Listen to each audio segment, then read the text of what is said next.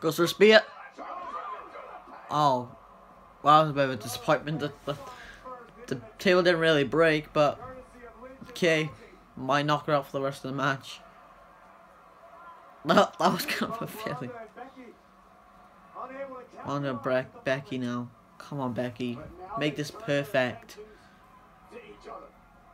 What isn't Mia Ronda just wears the same outfit every single time? Nothing special new. This is like supposed to be an MMA fight. It looks like Becky might take this one. Come on. Oh my god, what a kick. Is that a botch? Oh no, come on, bro. Come on. Come on, Becky. Get on and do the summer. What a match, man. It's a good main event, to be honest. Oh. Oh my god. One. What? Um.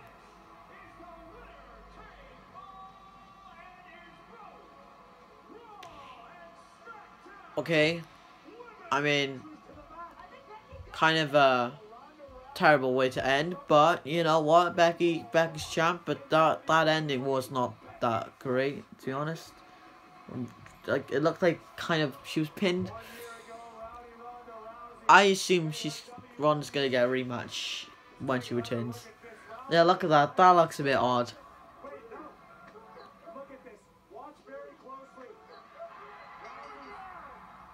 Oh, okay, well, hey, bro, I'm fine.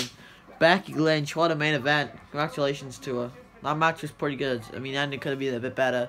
She could have, like, rolled out and did some and made a tap out, but alright. Congratulations. What a, what a, uh, what a WrestleMania. You know what? It was an okay one. It was an okay one. Better than last year's.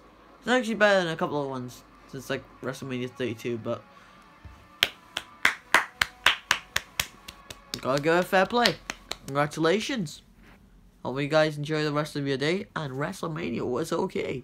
That rhymed. See you later. Peace.